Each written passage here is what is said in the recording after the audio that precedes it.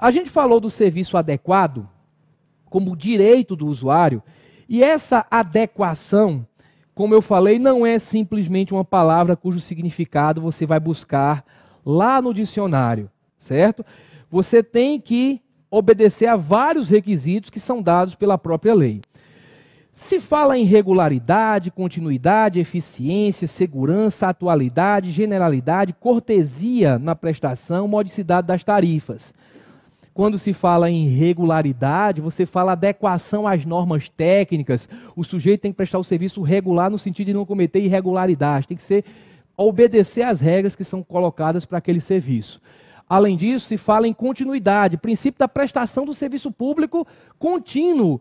Se ele atende a necessidades da população, traz uma utilidade, se ele é público, ele tem que continuar. Então é vedada a interrupção e nós vamos ver que existem exceções a esta regra, claro. Mas a regra é que o serviço vai ser prestado de maneira contínua, sem interrupções, porque ele é considerado um serviço essencial, via de regra, por ser um serviço público. Além disso, quando se fala em eficiência, eficiência tem a ver com atingir o resultado da maneira menos onerosa possível, tem a ver com custo-benefício é? a, a tarifa que é módica, como é uma das características, trazendo um serviço de qualidade. Então tem que ser eficiente, você conseguir prestar o serviço com as características que são colocadas na lei, de maneira regular, de maneira perene, de maneira contínua, cobrando uma tarifa módica, certo? Então tem a ver com o custo-benefício. Segurança, claro que o serviço tem que ser prestado da maneira mais segura possível, sem colocar em risco os usuários. Né? Por exemplo, acho que não vai chegar essa providência, mas há uma discussão grande em Pernambuco, né? Um, um, um, há um deputado que atua de uma área muito forte, de maneira muito forte com relação à área de serviço de é, energia elétrica, e estava havendo uma ameaça até de o poder público rescindir o contrato de concessão com a concessionária lá em Pernambuco por conta de algumas, não foi uma não, algumas mortes seguidas por choques elétricos de maneira absurda. Chegava uma pessoa e atravessar a rua, botava a mão num poste, tomava um choque e morria. Então aconteceram várias coisas que mostram que o serviço não estava sendo prestado de maneira adequada. Se um concessionário de energia elétrica deixa um negócio como esse acontecer, já aconteceu também de, de um, um, cabo de eletricidade lá ficar lá pendurado, uma pessoa ir passando, tocar e morrer também. Então, algumas mortes aconteceram em datas muito próximas, o que levou o poder público a começar a dizer: olha, não está havendo segurança.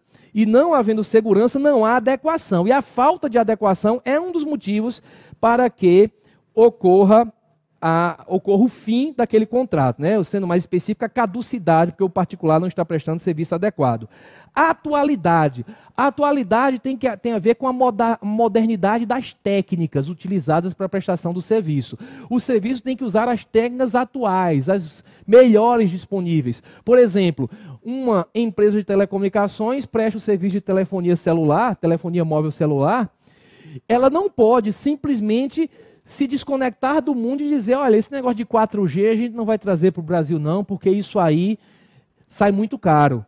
Então ela ficaria prestando um serviço atrasado, que não é atual. Então ela tem que atentar para, moder a modernidade das técnicas para que propicie aos brasileiros uma prestação de serviço atual, que seja atual quando comparado com os serviços prestados nos outros países do mundo. Então só é adequado também se for atual. Então essa busca da melhoria das técnicas não é só uma coisa que a empresa faz para buscar lucro, é também por obrigação legal.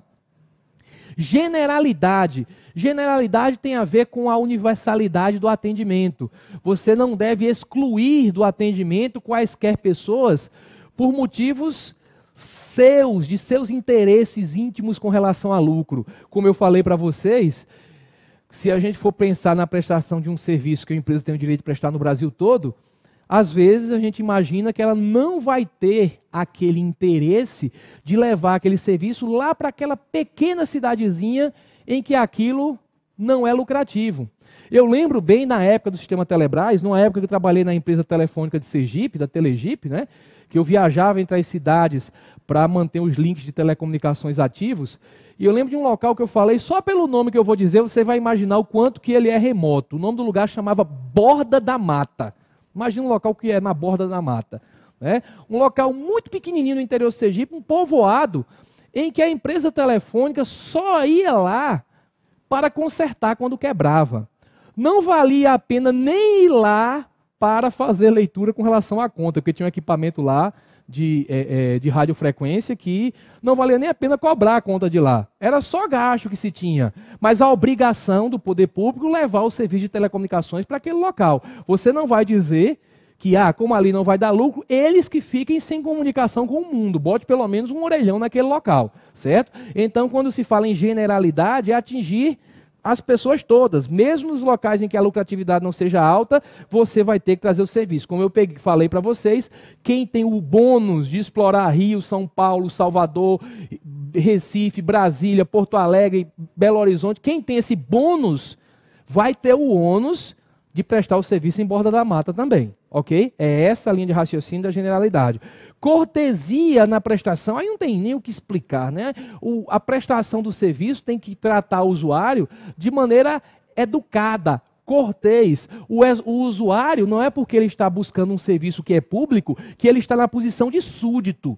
Ele é cliente do poder público, ele é cliente daquela concessionária, cliente naquele sentido da reforma do Estado, né, que muitos doutrinadores não gostam de falar, dizem, o cara é cidadão, mas daquela concessionária ele é cliente e tem o direito de ser tratado com absoluto respeito. A falta de cortesia também é considerada prestação inadequada de serviço. E pelo menos na teoria poderia justificar até a perda dessa concessão. Além disso, modicidade das tarifas, nós já falamos bastante dessa modicidade das tarifas, que é a ideia de, para propiciar acesso da, da maioria da população, né, da generalidade da população, veja que uma coisa ligada à outra, se a tarifa for muito elevada, o serviço não vai ser prestado à generalidade da população. Várias pessoas vão ser automaticamente excluídas pelo exagero no preço. Então, dentro dessa linha, o serviço é adequado se as tarifas forem módicas. E quanto a alguns desses requisitos aqui, eu fiz uma definição breve para que vocês percebam o que é efetivamente ser adequado mas quanto a alguns aqui, existe uma regulamentação na própria lei que a gente vai passar a comentar.